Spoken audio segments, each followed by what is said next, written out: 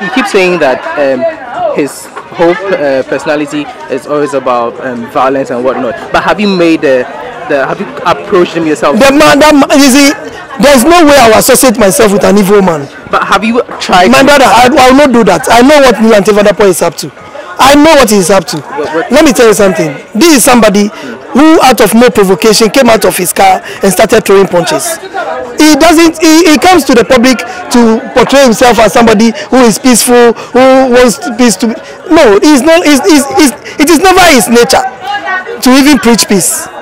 He goes around telling people he's going, he's going to be a pastor after politics. My brother, let's not be deceived by the devil himself. I'm telling you, and I'm saying on authority. Nii Lantey Vanderpuye is the devil incarnate.